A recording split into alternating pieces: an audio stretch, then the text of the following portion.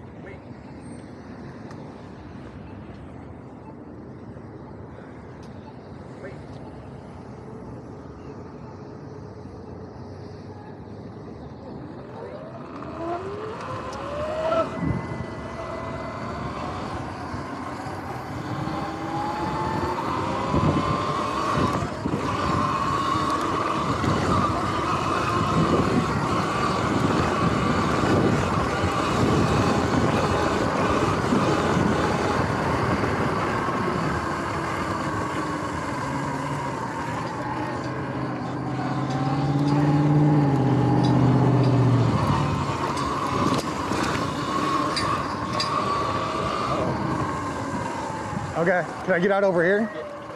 Uh, you already fenced it in? Sorry guys, didn't see you. Have a good one.